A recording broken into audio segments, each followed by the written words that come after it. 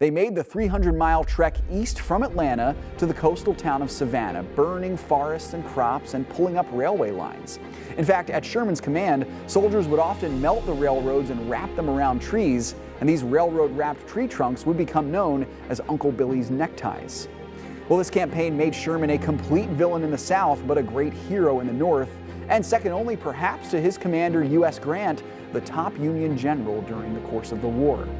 Sources indicate that Sherman's army destroyed over $100 million worth of goods in their march to the sea. Of course, the march would not be complete without a Union takeover of another important Confederate city. And sure enough, Sherman's forces took Savannah on December 22nd, and he famously then sent a message to President Abraham Lincoln shortly thereafter, presenting his Christmas present to the commander in chief, the city of Savannah.